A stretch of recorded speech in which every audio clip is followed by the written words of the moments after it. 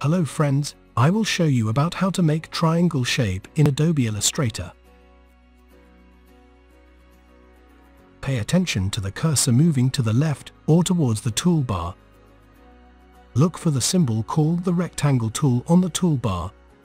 Right-click then select the polygon tool. Click and drag on the artboard to form a hexagon. Click and hold, then press the bottom button on the keyboard until it forms a triangle.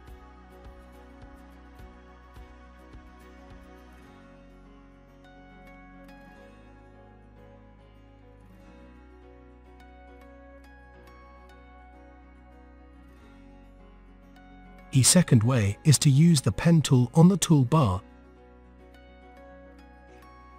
Click and drag to form a triangle.